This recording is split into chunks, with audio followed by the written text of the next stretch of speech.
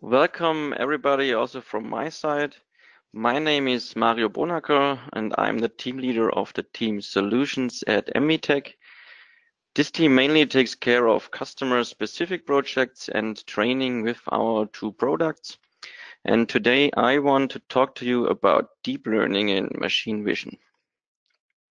The agenda for today will feature the following topics. At first, we will give a very brief introduction of MVTec and our software products.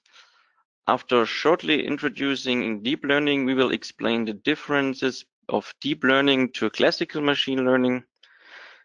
And in the following, we will cover available deep learning technologies in Halcon, as well as the workflow for creating a deep learning classifier featuring some best practices for collecting data for deep learning and afterwards, we will explain why we see deep learning as a complementary technology when talking about solving machine vision applications. Last but not least, we will show a few more example applications in which MVTec Halcon's deep learning is successfully used. So who is MVTec? MVTec is a leading international manufacturer of software for machine vision with its headquarters in Munich. Currently, approximately 160 employees are working on mainly two software products. One is MERLIC, as you see in the center. It's a powerful all-in-one machine vision software product that enables you to quickly build complete solutions by drag and drop configuration. So you do not need any programming skills and it includes a designer for user front end and its complete soft, uh, frame, software framework is expandable with Halcon. The other one is Halcon. Halcon is a comprehensive standard software library for machine vision with an integrated development environment called HDevelop, which is used worldwide. It is optimized for the needs of OEMs and system integrators and allows engineers to set up and program their own solutions for a specific machine vision application. So let's start to talk about deep learning. The first message we want to give is that deep learning is not deep learning. So what do we mean with that? In general, deep learning is being used in a wide range of industry and markets. It's used for speech recognition on smartphones. Social media uses deep learning to identify users' friends in uploaded photographs. Online shops use deep learning to categorize product images that sellers have uploaded or the, even the cosmetic industry uses deep learning. For example, they use facial recognition in combination with big data and deep learning to give customer a more detailed and personalized analysis of their skin, followed by recommending best treatments and products. So many different markets and industry utilize of deep learning. But deep learning solutions that have been developed for vertical markets are addressing the needs of this particular niche, market or application field. So they are highly specialized to solve a specific problem and this problem only. And this is often combined with optimization for specific hardware. For example, autonomous driving is specified or optimized on FPGAs such solutions cannot be easily transferred. So if you want to solve an industrial machine vision problem, you should keep in mind the background or the primary aim of the different deep learning solutions when choosing. For example, a deep learning solution specialized to face recognition cannot simply be transferred to a wafer inspection task. The challenges faced by these applications are extremely different. Let's focus on machine vision and have a look at the differences of deep learning compared to classic machine vision algorithms, to classic machine learning. Here we visualize a typical process steps of classic machine learning. A little simplified coming from your input image on the left to the classification result on the right, you need two steps. The first step is you need to extract features like shape, texture, or intensity, for example, from the image. And in the second step, you need to use these features as an input for the classifier. The biggest effort in classification applications is this extraction of the features. To be more precise, it's the selection of the right features which are significant to distinguish between the different classes. Let's use a real application to exemplify this. The application here is glass defect detection. And in glass products, there is an extremely high number of defect classes. So the different kind of defects can have totally different shape, size, gray values, etc. So if you want to solve this problem with classic machine learning and you want to focus, for example, on this first defect, you need to implement some kind of code to extract the features which are suitable to distinguish this kind of defect from another kind of defect. And for this other kind of defect, you again need some kind of code snippet to be able to extract the features. And if you see the third defect, it again looks totally different. You need again another kind of code snippet. So your code you need to solve this problem classical with classic machine learning, you need a lot of if cases to check for these different kind of defects. And you can imagine that this code will get quite long. So the problems of the classic machine learning at first, you need a skilled vision engineer with programming and vision expertise knowledge. You have to write a somewhat long program and you have to do a lot of testing to see which features work the best. For both of these tasks, you need the skilled vision engineer even if you have such an expert, what not everybody has, it is still a big investment which you might want to avoid. So you this high programming effort you don't want to use. Third one is the maintenance of complex code is very expensive because once you have such a program, you also have to maintain it.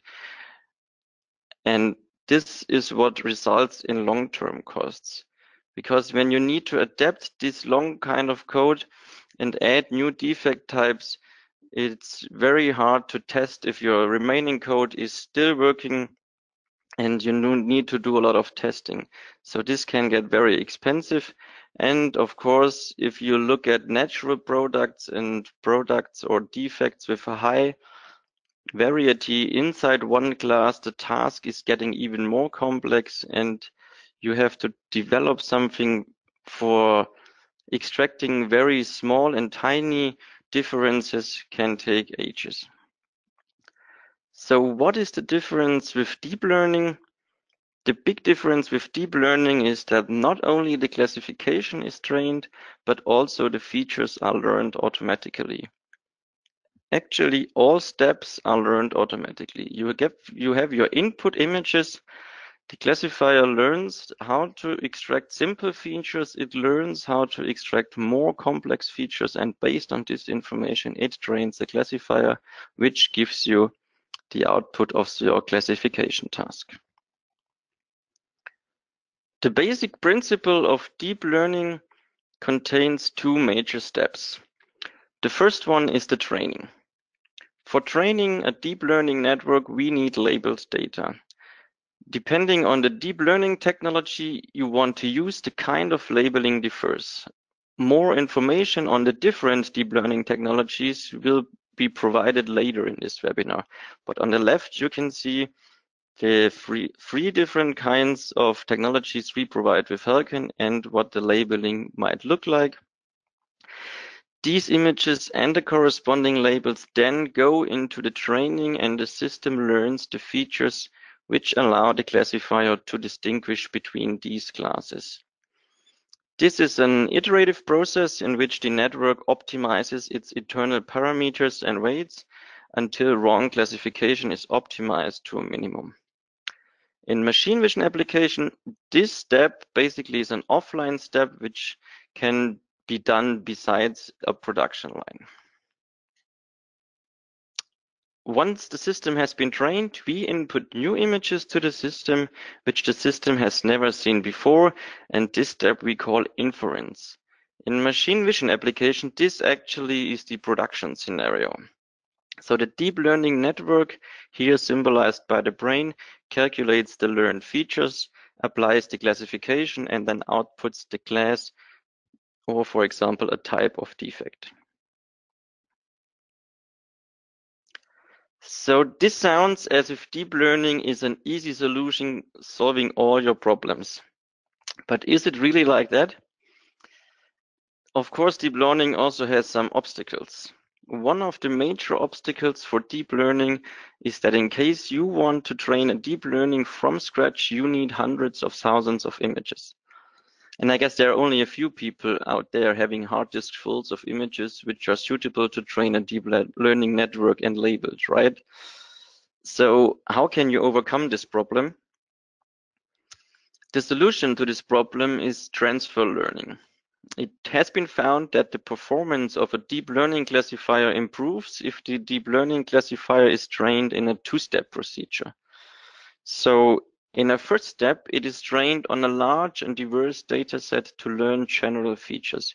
Here we use general images which are not application related, we just need a very high number of various generic images which are labeled. And in a second step, this pre-trained network is retrained on a dataset of the specific problem. The advantage here is that for this retraining, a reduced number of images can be used. We usually recommend a number of 200 to 500 images per class, depending on the heterogeneity of the data of a class.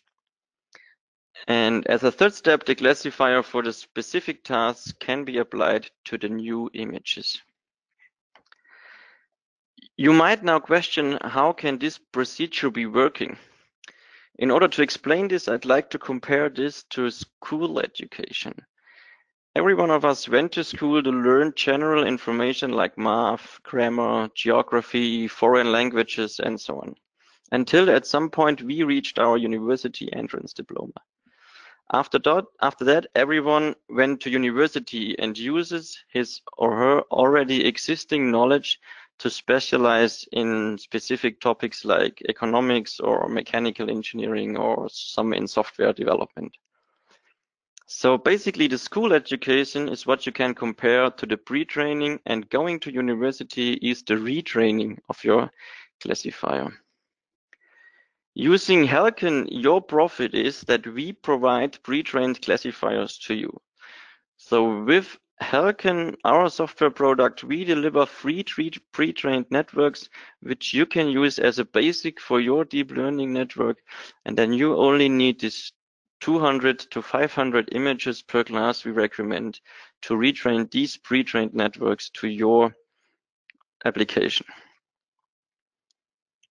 For these methods, we have, as I mentioned, three kind of pre-trained networks. The first one we call compact. This one is a network which is from reduced complexity but optimized for highest speed. The second one we deliver is called, in our case, enhanced. This one is optimized for best classification ra rates. It's a little bit more complex topology.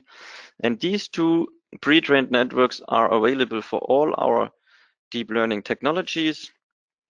And we also provide a third network topology. This one is called ResNet50. This is optimized for even more complex tasks and is a very common used network topology in research. This, in our case, is only available for classification and object detection. More on these later. In order to prove to you that using a general pre-trained deep learning network, which is later on retrained with application-specific images works, I want to give you a quick overview of four example applications from total different industries with different challenges and show you how deep learning helped us to solve them. One is from the agriculture industry, the other one from pharmaceutics. We have an example from the logistics industry and the semiconductor industry. Of course, unfortunately, I cannot show you real application images, but just giving you more background on what was the real problems we had to solve. So for the identification of plants, before deep learning, the problem was that new plant types had to be manually programmed. And you might imagine that a plant in a younger state and in an older state might look totally different, but belong to the same class. So a lot of programming effort was needed to be able to implement the feature extraction for this. And additionally, there were separate MLP classifiers trained for each country because different countries have different plans, another time consuming progress. With deep learning, we were able to solve this problem of the customer only in around two weeks of work and the customer spent before month of week, uh, months of programming time. Additionally to that, we could reduce the top three error of the classification task from customer 20% to using deep learning 10%.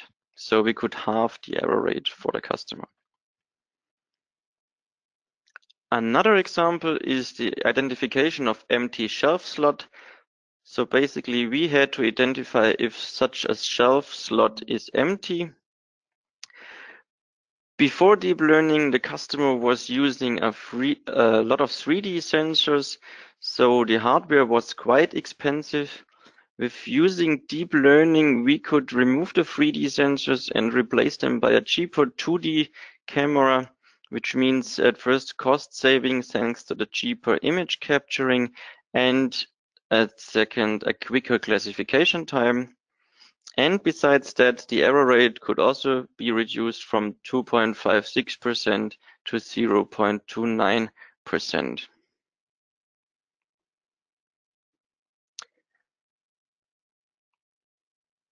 The third example I want to show you is the checking of pills for defects. Here we had different kind of pills, around 30 kind of pills and 10 different kind of defects. And the main problem here was that new defect classes had to be programmed into the machines on site due to the fact that the end customer didn't want images to leave the factory. So always an expert had to go there to implement new uh, the new features, very expensive travel costs, maintenance costs. With deep learning, we could reduce this because the training could be done on site by just adding new defect images to the training images and rerunning the training process. The classification rate basically in this case stayed the same than the solution of the customer, but um, the reduction of this time and saving of the money was a big profit for the customer. And the last example of these four is the inspecting of the lens for defect. Due to inhomogeneous um, illumination, the classification error from the customer was quite high. It was around 40.5%. And this led to a lot of manual inspection. Using deep learning, we could reduce this classification error to 1.5%, which led to less manual inspection necessary and therefore to reduced costs. So far, we see that machine vision applications can profit from deep learning in different ways. And it can be an improved classification accuracy. It can be a reduction of the development time or a reduction of the hardware costs. So now let me introduce the different deep learning technologies available for use in machine vision to you. In Halcon, there are three different technologies available. It's classification, object detection, and semantic segmentation. In case of classification, you just need an image with a name label of the class. In the end, you have a decision which class is shown in the individual image. Here it is a one-to-one -one decision where only one object per image is possible.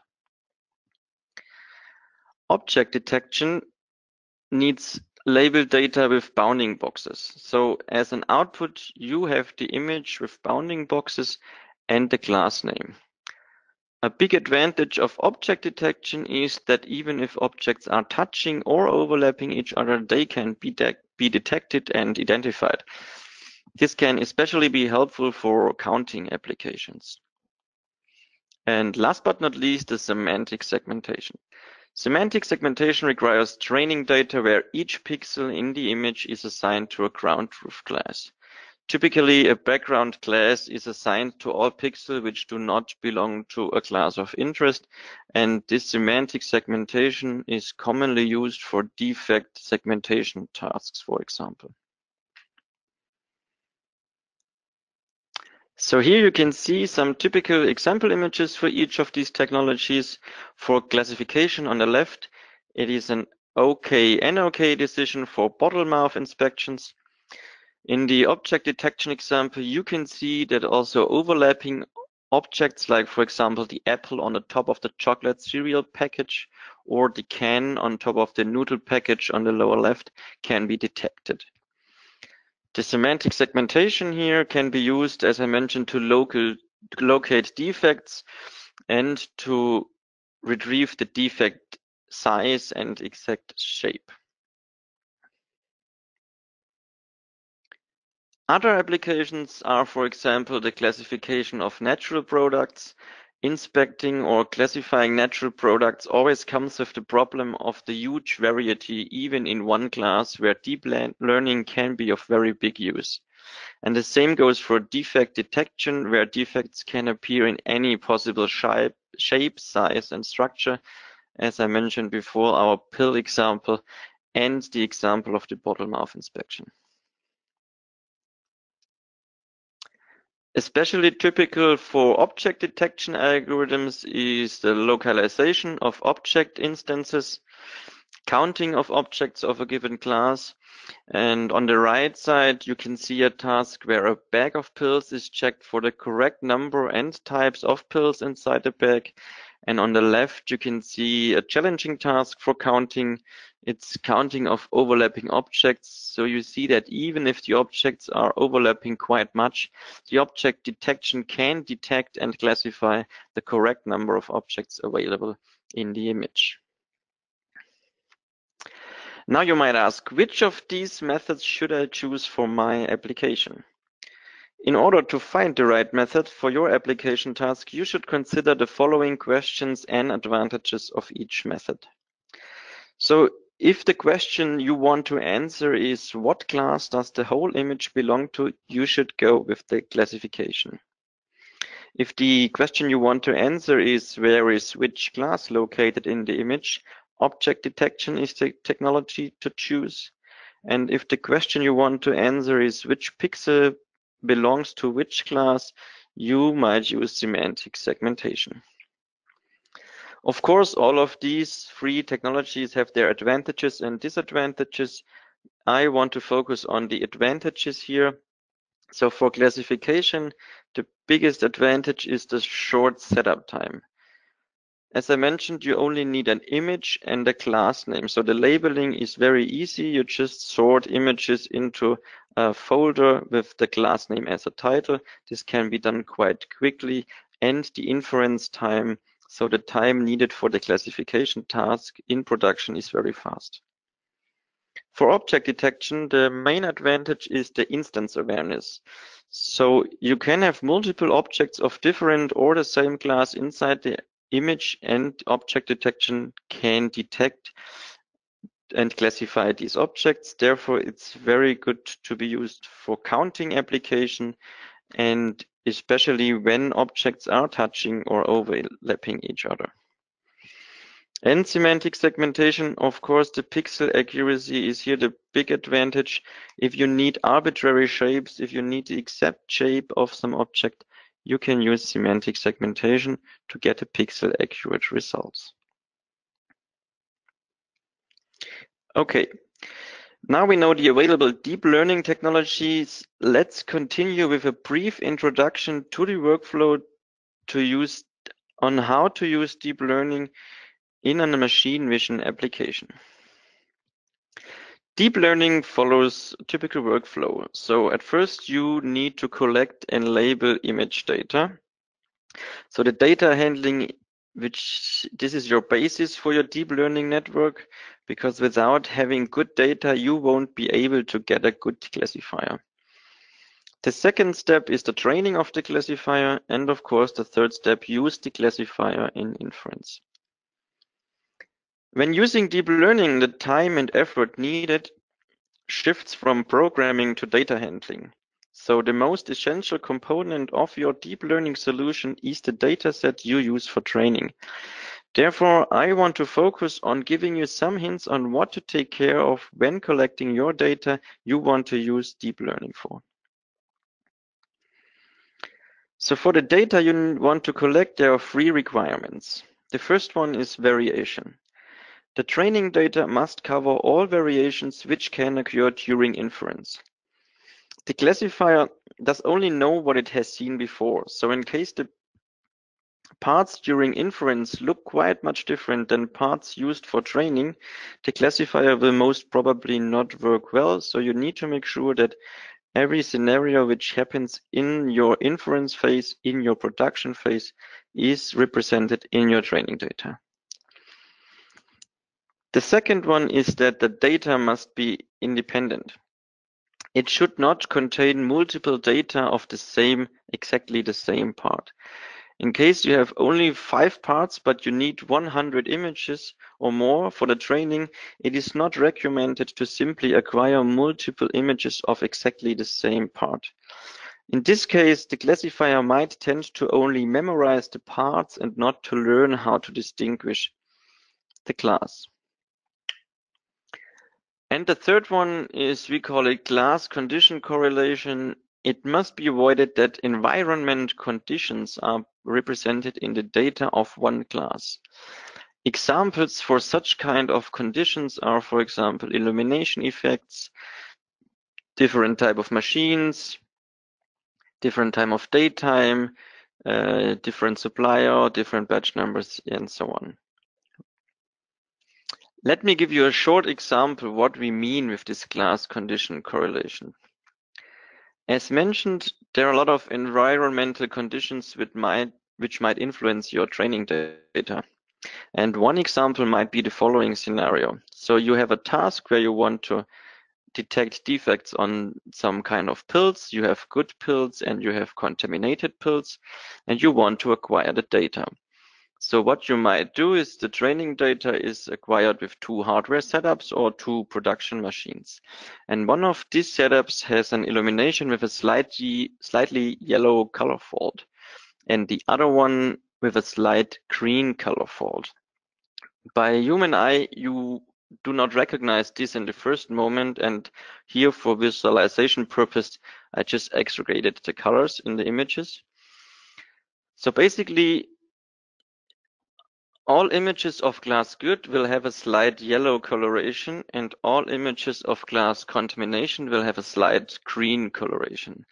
So what the classifier most probably will do, the classifier might learn the condition differences, the yellow and the green in the image, and not the real differences of the class. In order to avoid that, the classifier learns conditions and not class differences, one needs to make sure that all conditions are present, represent in all classes. For example, by acquiring images of each class on each setup. So if you acquire good and bad sample on each setup, you will have greenish and yellowish images in both classes. So the classifier learns that this is not a feature which can be used to distinguish the classes.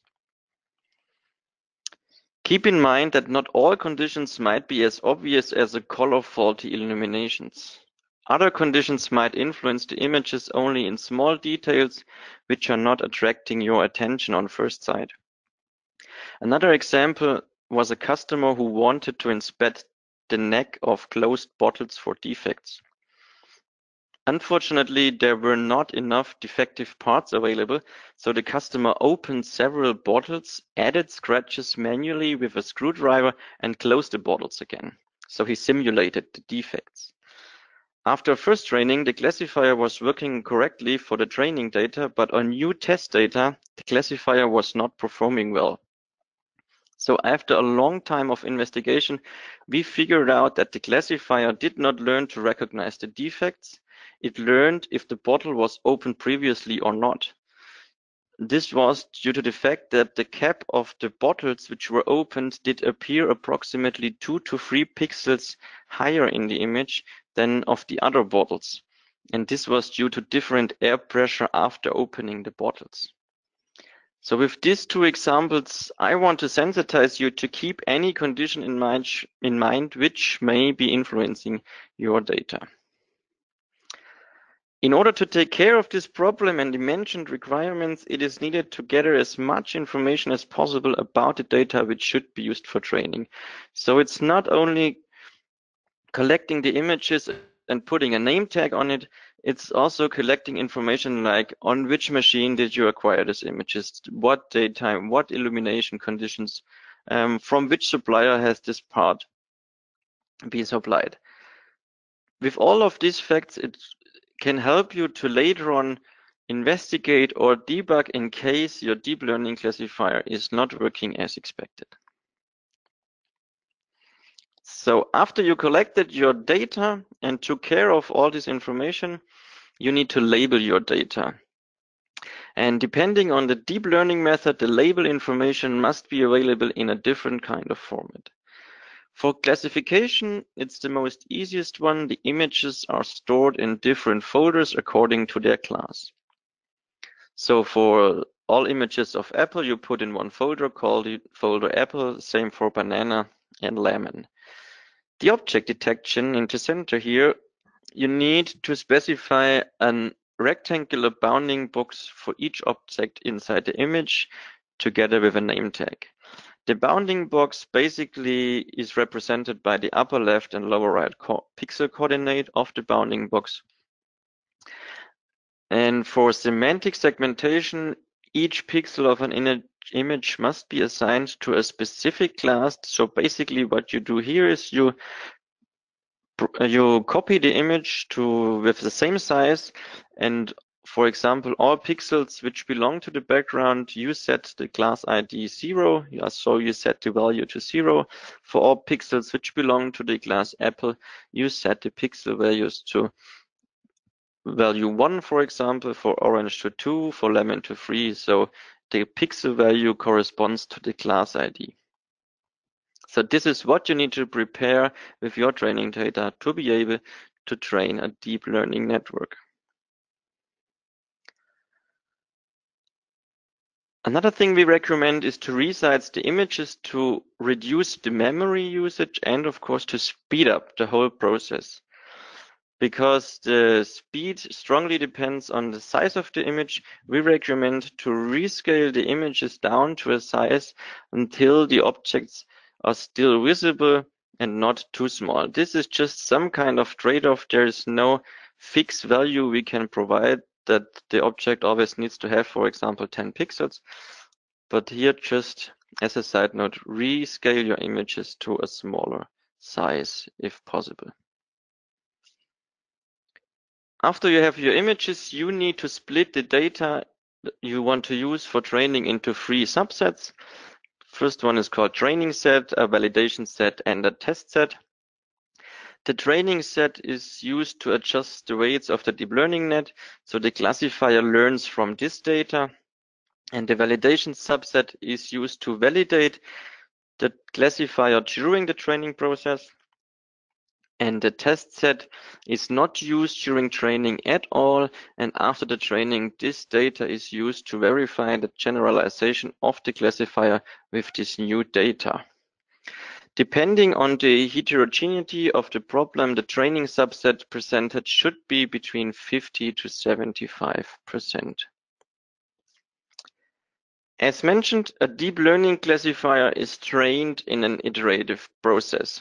So here I just want to quickly introduce how this iterative process is working. In a single training step, the following happens. So at first, the training data is split into batches. And this batch, so this specific number of images from your data is presented to the deep learning network at once. The deep learning network then predicts a class for each of these images and the predicted classes are then compared with the correspondent ground truth. and each misprediction misprediction contributes to a loss measure. So the loss is then back propagated through the layers of the network, and depending on the less loss on a certain learning rate, the weights of the convolutional filters are updated. And over a few iterations, these weights become more and more stable. So after one batch, this is done with all the data inside your training data for one time. After one time, we are talking about one epoch. And the training of such a deep learning classifier usually takes several epochs. So the training data is passed through the network several times. Usually during training, you can watch a training plot like this, where the loss is uh, printed over the epochs and you see the loss minimizing over time. For example, in Halcon, you will see this kind of plots for all three technologies during training to be able to monitor the progress. So now you might ask, okay, what hardware do I need to run this? So I split this into these three categories, labeling, training, and inference. For the labeling, there are no special requirements. You can use any PC or workstation to do this. For the training, I might have mentioned a GPU is needed. As this is an offline step from your production, you can use any PC or workstation in combination with a powerful GPU. In the case of Halcon, you need an NVIDIA GPU with CUDA support. For the inference in production, you have a few more options. You can either use a GPU or use the CPU of your PC or your industrial PC. Here we support Intel and AMD CPUs. Besides that, it is also possible to use embedded devices with embedded GPU, like for example, the NVIDIA Jetson TX2 or the NVIDIA Xavier board to run the inference on such kind of embedded device. So the next thing I want to talk about is that deep learning is a complementary technology. Why do we as MVTec see deep learning as a complementary technology? Because what many people think is with deep learning, I just need enough images and my whole machine vision application is solved. So deep learning is the solution to all problems. But if we think of a real world machine vision application, there are a lot of different kind of problems to solve. So if you think of a real world machine vision application, what about image acquisition or camera calibration? In case you want to interact with a robot, you need some hand-eye calibration or some I/O communication. And you also might need to somehow pre-process your data, like I mentioned, the rescaling, or you want to do some post-processing, for example, based off the segmentation results of semantic segmentation. So you see, in order to solve a complete machine vision application, more than deep learning is needed. Deep learning is a very good tool for certain areas, mainly everything that has to do with classification but it cannot do many other things like bound data code reading or high precision measurement or any kind of high performance matching. So let's have a look at a more complex machine vision application in order to show you in more detail why we think like this. This example shows a bin picking application we showed on the Vision Fair Trade show last year in November in Stuttgart. Basically, a robot is used to grip sweets and sort them based on the flavor. Of course, sorting sweets is not the most industrial example, but the principle can be transferred to any other application where parts needed to be picked and sorted by a robot. In this case, we used a 3D sensor. This is what you can see on the left in this blue box. And with this 3D sensor, we get a point cloud of the sweets on the bowl. Based on this 3D data, we calculated the picking points of the parts to be able to pick them by the robot. After the picking, we used an additional 2D camera to classify the picked part. This is what you see on the upper right. And then based on the classification result, the part was sorted to an output. It's shown on the lower right. So what do we need to be able to solve such a machine vision task? To solve such kind of task, we need to do roughly said six steps. The first one is we need to somehow acquire the 3D data from our sensor. We need to transform the positions uh, between the 3D point cloud and the robot to make sure that the robot picks the exact position in the 3D point cloud. Then we need to detect the part position in the 3D data. We need to tell the robot to pick the part. We need to classify the part and then sort the part to the output. So let's have a little bit more detailed look on this. So to acquire the 3D data, you should be able to have a wide range of acquisition interfaces to not be somehow restricted to a specific um, camera supplier. So you should support some kind of standards or other proprietary interfaces. In order to transform the position into the robot coordinates, you need some kind of calibration methods to do some camera calibration or some hand-eye calibration. To be able to detect the part's position in the 3D data, you need something what we call surface-based matching. Surface-based matching basically compares a known surface to a point cloud to find the pose, the 3D coordinates and the orientation of the part in real-world coordinates. And after the matching, you need to communicate with the robot somehow with I.O. communication interfaces to tell the robot where should it move to to grip the part. And after this, finally, here we are at the classification part. Actually, this is the deep learning part of the application. Here you see on the left the images we use to train the deep learning network to be able to distinguish between the different flavors of the sweets. And another point we use deep learning for is to communicate with the robot in case the bowl of sweets was empty, the robot went to the pause position and was waiting for a trigger to go on. Of course, we could have implemented a hardware trigger or a button, but we thought it we should be able to use some gesture control. So what we did, we added a class called thumbs up. And as soon as thumbs up was presented to the camera, the robot knew, okay, it's time to go on. I can go on sorting out parts. So as you can see on this example application, we see the combination of both technologies for the future and not deep learning as the holy grail. In the six steps we need to solve this machine vision application, basically only the classification part is the deep learning part and all other steps are just rule-based vision algorithms, like for example, the detection of the position in 3D data. And if you want to combine these two technologies, the classic machine vision technologies and the new deep learning technologies, the best way to do is, is to use Halcon because Halcon provides 20 years of machine vision experience, 20 years of experience in machine vision applications combined with new deep learning technologies out of one box.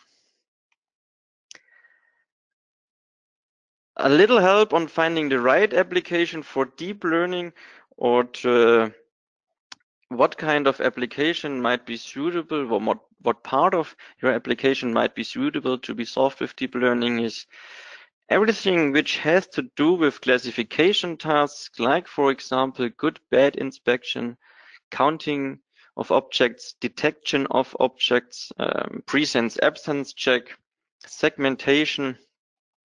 These are applications where deep learning can help you Applications like metric methods, for example, for measurement or matching, 3D surface matching, code reading. There are other methods available which can solve these problems better than deep learning. So this is where we do not recommend to use deep learning. And if you're not sure, we always tell you our customers, give it a try and try if deep learning can help you. Yeah. So to top off this webinar, I want to give you further application examples to give you a better, more better understanding on what kind of applications deep learning can be used and to give you an idea or give you more information that nearly every application in machine vision which has to do with classification can profit from deep learning. So here we see the plant classification, pill inspection, storage content classification, and circuit board inspection. These are basically the uh, examples I introduced at the beginning of the webinar. Additionally to that, we solved some problems with nut inspection and packaged ham inspection. We had exam applications in corn inspection, inspecting every single corn. We did some tasks for defect detection on automotive parts, car seat clothing inspection, uh, presence check is a very common used application, ladder classification or clam inspection. Going on with some lens inspection, zipper inspection, classification of vegetables or fruits, inspection of cans, inspection of wire endings, or material classification. For three of these, I want to give you a few more details. The nut project or the nut was uh, task was basically a good and bad classification. Here we used image of the size 400 times 400 using around 350 to 180 images for good and bad class with a validation error of 1%, test error of 1% in around four working hours. For the quality check of automotive parts, this was also a good and bad classification. The image size here was bigger. It was around 1000 times 700. Here we rescaled the images to 224 times 224 to have a more faster inference time. Uh, the image numbers was around 2,800 for good and 1,500 for bad, leading to a validation error of 0.8 and a test error of 1.4 in around 10 working hours. And last but not least, the classification of letter types. Here we had 20 different types. The image size was around 1,280 to 1,024 with a number of images from around 70 to 1,300 per class, leading to a validation error of 0.36% and a test error of 0.1% in around two working hours. So thank you very much for your attention. I hope you enjoyed this webinar.